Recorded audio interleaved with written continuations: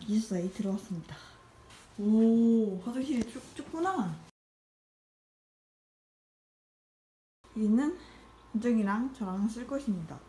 지금 겁나 많아요, 지금. 이게 말이 돼? 베란다도 있어요. 대박.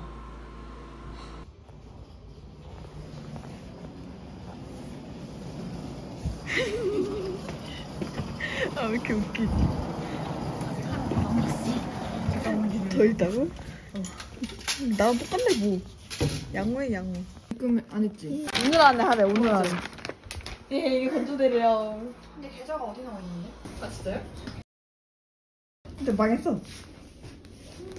사람이 너무 많아요. 사람이 너무 많아. 오! 먹자. 음. 기숙사의 첫날 밤.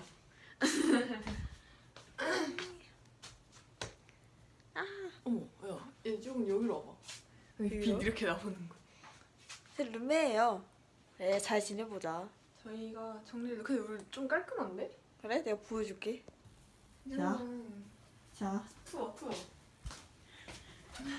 여기서부터 시작해서.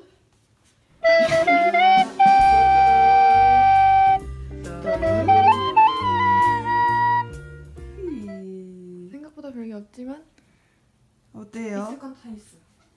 어때요? 이제 책이 채워지겠죠? 맞네. 자, 이것도 됐나요?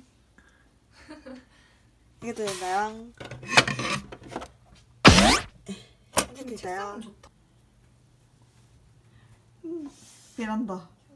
안내 말씀드립니다. 오늘 학생들 입사하시느라 고생하셨습니다. 야간 통행 금지 시간은 저녁 11시 50분부터 아침 5시 30분까지입니다.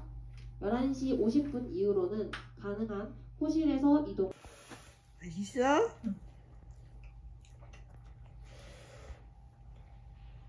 그냥 골라. 너무 뜨거워. 너무 매워. 케이킹 바다.